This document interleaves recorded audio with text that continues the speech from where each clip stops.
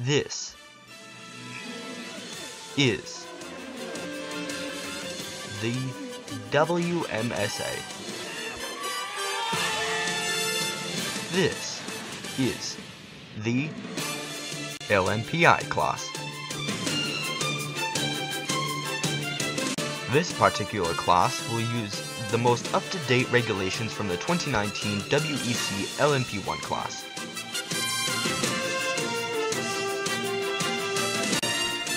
Prototypes originated from the famed 24 Hours of Le Mans. They are top-of-the-line ultra-fast race cars.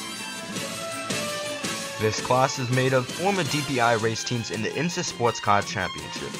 The teams are Konica Minolta Wayne Taylor Racing, Mazda Team Joest, Acura Team Penske, and Mustang Sampling Racing.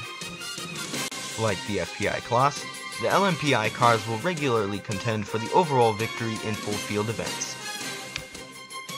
The full LMPI team driver roster will be released on the WMSA official channel on YouTube.